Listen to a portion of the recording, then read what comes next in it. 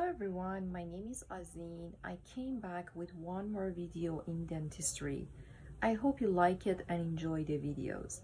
Today I want to talk about the one topic which is very popular in dentistry. Sometimes a little bit complicated.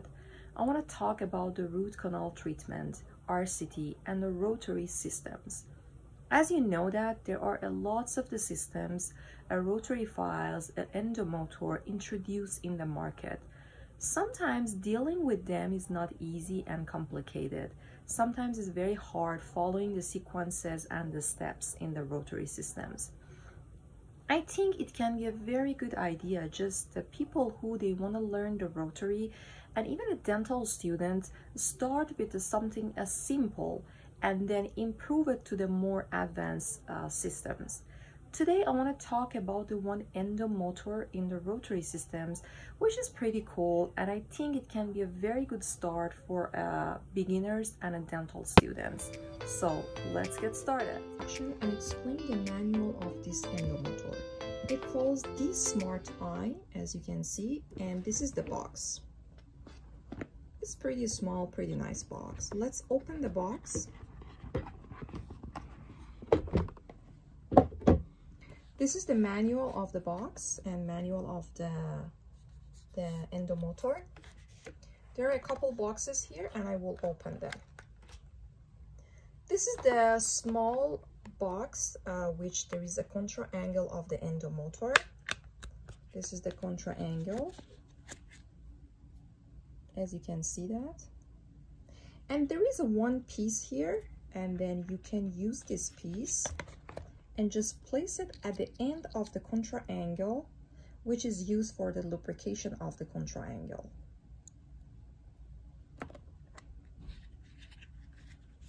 There is another box here, which is the main body or just the main machine of this uh, rotary system. Let's open it.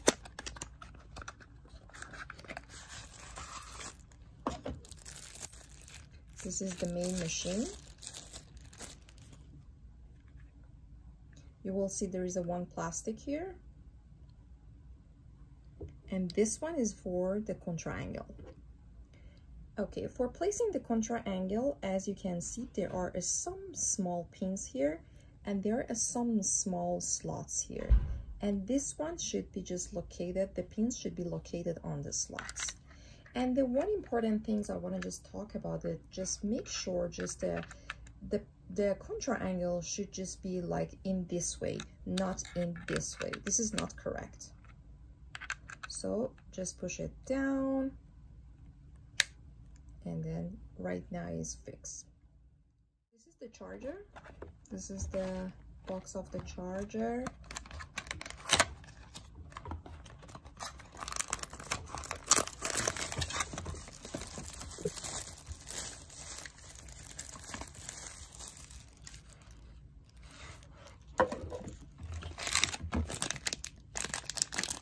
Can charge it whenever you want it. This is the light.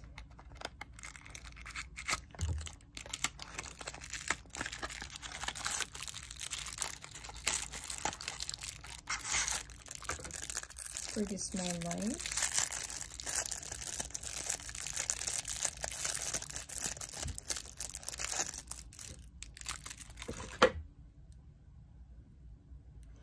For placing the light, as you can see that there is one small socket here and you have to just place the light in this small socket and just put it here. There are a couple keys here, as you can see that, and these keys just refer to the different things. Okay, first of all, this is the power key. You will see that with the red one, and you have to just keep it for one second and you will see that the screen is turned on. You will see the S key. The S key refers to change and adjustment of the speed and torque of the programs.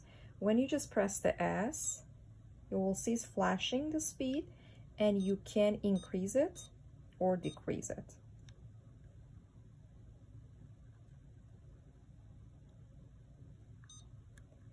And even you can change the torque with the S key. You can decrease or increase. The first one is speed and the second one is the torque. Now let's go to the P key. This is the P. The P just refers to the program of this endo machine.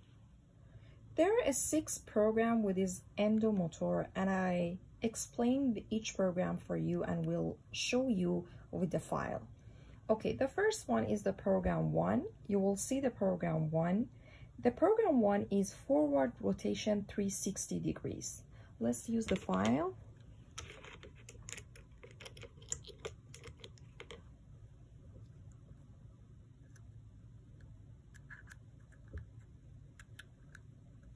make sure the file inserted very well in the machine. So this is the switch motor and I just press it down and you will see this is the P1.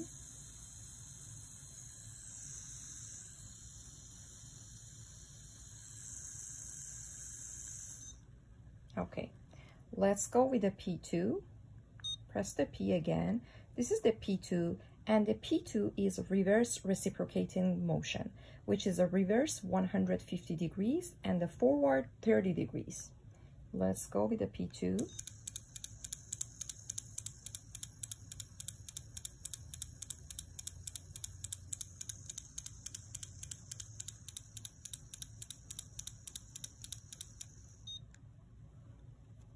Let's go with the P3.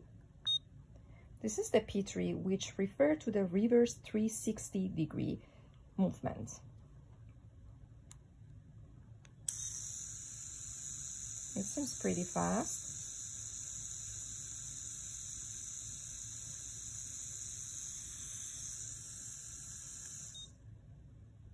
Let's go with the program 4. This is the program 4, is the forward reciprocating movement is the forward movement 150 and the reverse 30.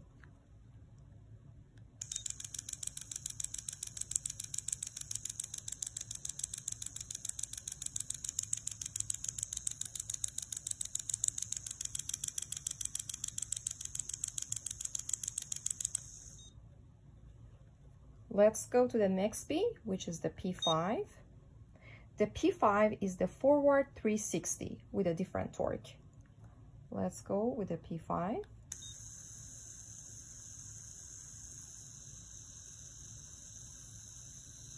It's pretty smooth.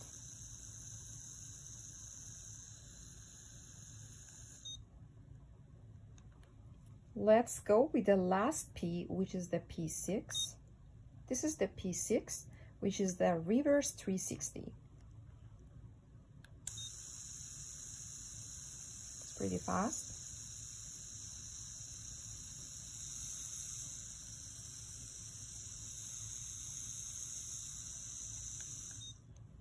You can adjust and change any speed or any torque during the working. Uh, it depends on you completely. But one of the things that I want to just explain about it, you cannot adjust the torque in the P2 program and the P4 program. As you can see, there is no torque and you cannot change it. P2 and P4. You cannot change any torque, but you can change the speed. There are many other models available online, but they all work in the same way.